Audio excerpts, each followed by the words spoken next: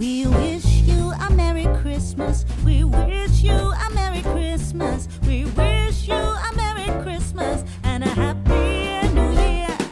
We wish you a Merry Christmas. We wish you a Merry Christmas. We wish you a Merry Witajcie moi kochani bardzo serdecznie w dziewiąty dzień, w którym podaję Wam dziewiąty rytuał. Dzisiaj jest to chlebowa panienka. Jeżeli macie kłopoty ze zdrowiem, jakieś dolegliwości, dokuczliwych ludzi, złe emocje, złe oczy, snujki, podczepy, złe wydarzenia, czegoś, czego chcecie się pozbyć, zróbcie chlebową panienkę. Co będzie do tego potrzebne? Biała świeca, która oczyszcza przestrzeń naszego rytuału, woda, chleb, miejsce, w którym ulepicie chlebową panienkę, pamiętajcie, nie musi być ładna. Ma być. Gwóźdź i zielona świeca. Jak działamy? Zapalamy białą świecę, która oczyszcza naszą przestrzeń. Gwoździem, igłą, szpilką wyrywamy na zielonej świecy swoje imię, datę urodzenia bądź imię, datę urodzenia osoby, dla której działamy, chociażby ze względów zdrowotnych.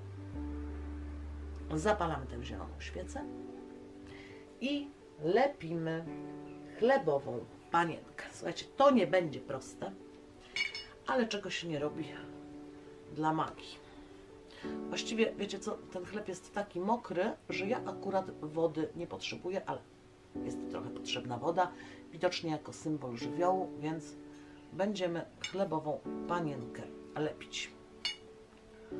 Duża główka, małe rączki, małe nóżki, no i to życie. Tak jak mówiłam, nie musi to być śliczne.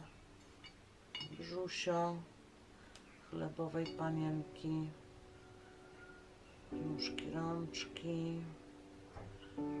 No Właściwie to Wam powiem, że ze skórek by dobre wyszły. Rąsie.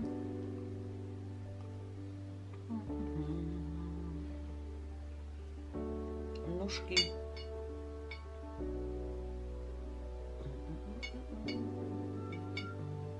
To jest taki fantom. Tutaj sobie wyobrażamy, lepiąc, że wszelkie negatywne rzeczy, których chcemy się pozbyć dla siebie bądź osoby, które, dla której działamy, że te wszelkie negatywne rzeczy do tej chlebowej panienki wkładamy. Jak nam powstanie taki ludowy fantom, nadajemy tej panience imię.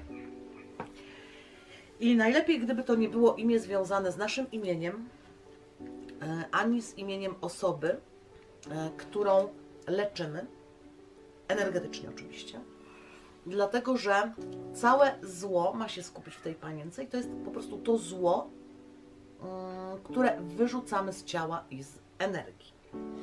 Czyli powiedzmy, że to jest ziuta. I teraz tak. Mówimy słowa.